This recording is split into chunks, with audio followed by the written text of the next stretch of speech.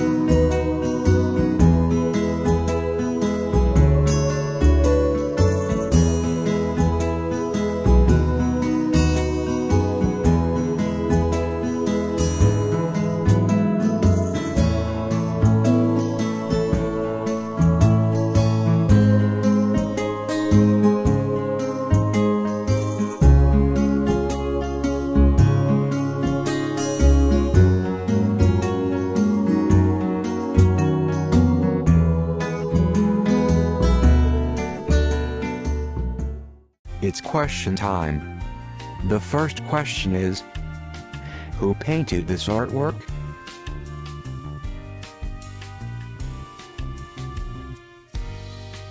Is it A. Leonardo da Grottopi B. Vincent van Gogh C. Rembrandtopia D.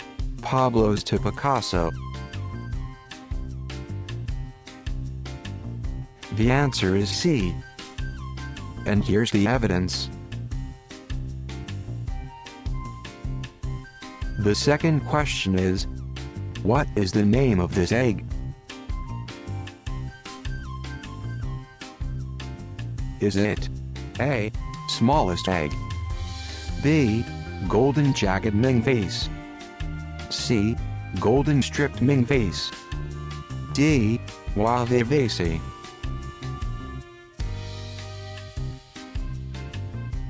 The answer is B. And here's the evidence.